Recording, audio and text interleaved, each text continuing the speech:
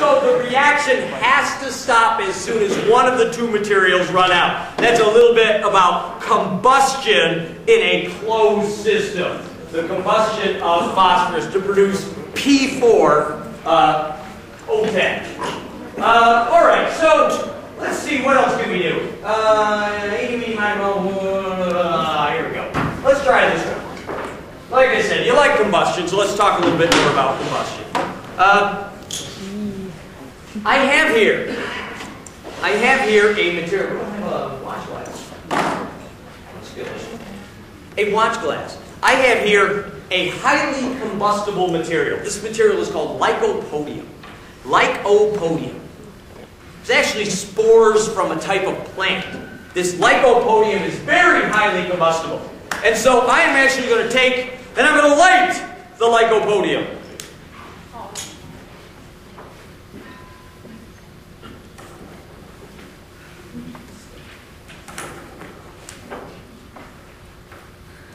My friends assure me that the lycopodium is combustible. Light the lycopodium.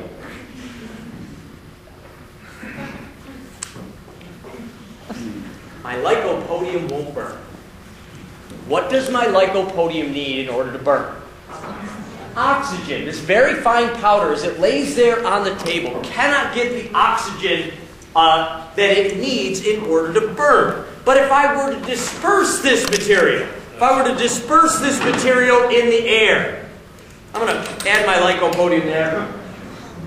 I'm going to use this as a flame source. Now, this has nothing to do with it. This is just so I don't have to hold it. You know, I could do this with a candle. I'm going to take a little bit of lycopodium. And if we now disperse that lycopodium in the air, the combustion is dramatically different. Dispersing the lycopodium in the air makes it combust much more readily. Now this can be a problem in a lot of different areas. Places like grain elevators. If you get dust in the air and you have a spark, you can have a disaster take place in your grain elevator or in a coal mine. So it's not just the powder, it's actually having the material dispersed in the air so that it can burn very easily. So that's a little bit about the effect of surface area on combustion. I've been doing that demonstration for, I don't know, 10 years for my students. The other year at Christmas, I got a gift. And as soon as I got the gift, I knew exactly what it was intended for. If to, in order to burn lycopodium, all I need is a jet of air to disperse the lycopodium and a flame, the other year for Christmas, I got a Nerf gun. now, my Nerf gun is now fitted with a torch at the end for a flame. It has reservoir of lycopodium, so the puff of air from the Nerf gun goes into the container and should jet the lycopodium out through the end. If I have my torch lit, we should get combustion.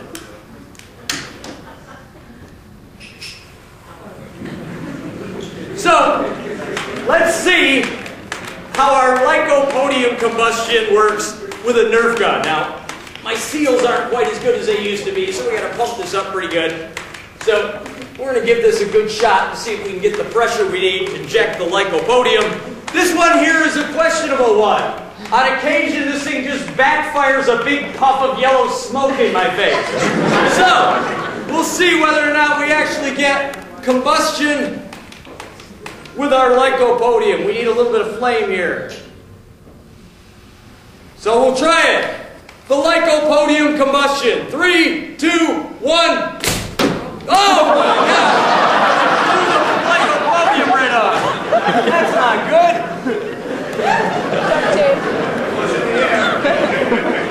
Hold on.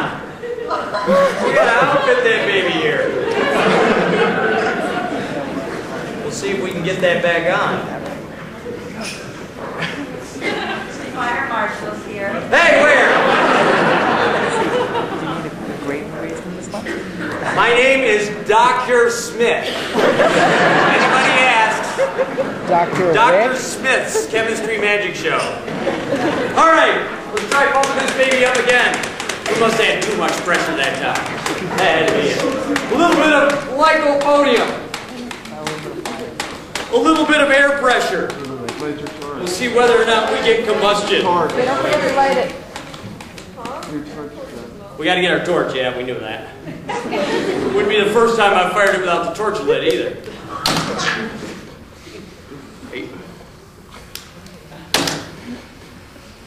All right, let's try this one more time. See if our lycopodium combustion occurs. I'm gonna hold my little thing on here, see if it stays. All right, three, two, one.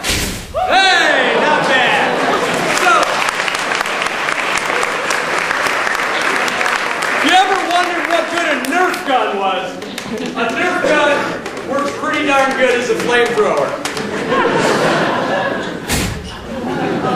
All right, so lycopodium combustion. There we go. A little bit of a mess down there, not too bad. Won't be our first mess. Won't be our last mess.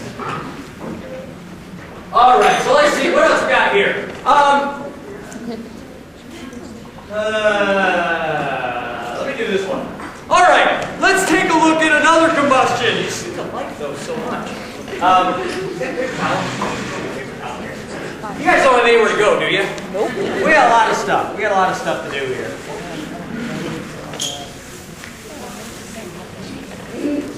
All right. Um, this one, however, I need a volunteer.